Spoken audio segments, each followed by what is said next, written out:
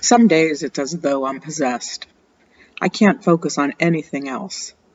How do I capture the muscle memory, the rhythm, the sheer power of dance? My inspiration has always been dance. Mostly I'm influenced by modern ballet, but it could be hip hop or jazz, dance that's raw with energy. I'm not trying to recreate the dance or the dancer. I'm trying to capture her energy and strength. And while I love each piece I create, I'm never satisfied. How could I be? I can't ever fully capture the dynamic energy of dance in a static sculpture. That doesn't stop me from trying over and over. And because it's the concept that keeps me engaged and not the medium or the technique, I use a range of materials and methods to express what I'm feeling. With a background in design and construction, working with diverse materials comes naturally.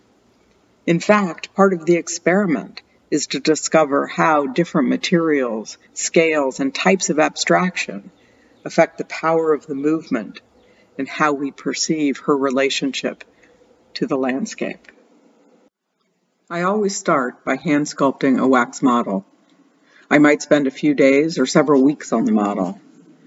The next step is to digitize the figure using photogrammetry. Now I have the figure in a 3D file that I can manipulate digitally.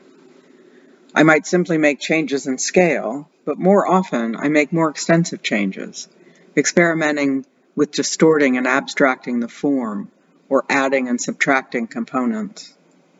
I usually spend more time on the multiple digital files than I did on the wax model itself. I can also try and discard lots of concepts before selecting the few that I'll move forward to fabrication.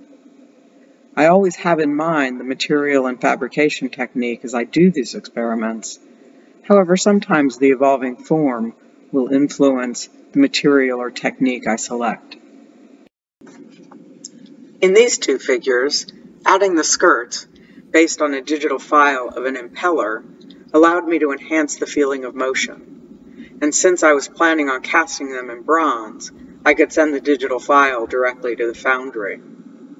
Modern 3D technology, in this case a CNC computerized router, allows me to create complex artwork in my studio.